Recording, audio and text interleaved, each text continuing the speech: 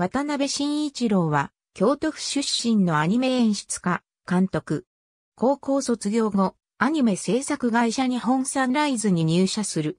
制作進行を経て、1987年のダーティペアにて演出家デビュー。機動戦士ガンダムダブルオースターダストメモリーなどを経て、1994年のマクロスプラスにて監督デビュー。この作品に参加したスタッフが再び集った1998年のカウボーイビバップでは、スタイリッシュな映像、音楽センスを発揮し、国内外で熱心なファンを生む人気作となった。2004年のサムライチャンプルー以降、実写やアニメのオリジナル企画に携わりながら実現しない期間が続く。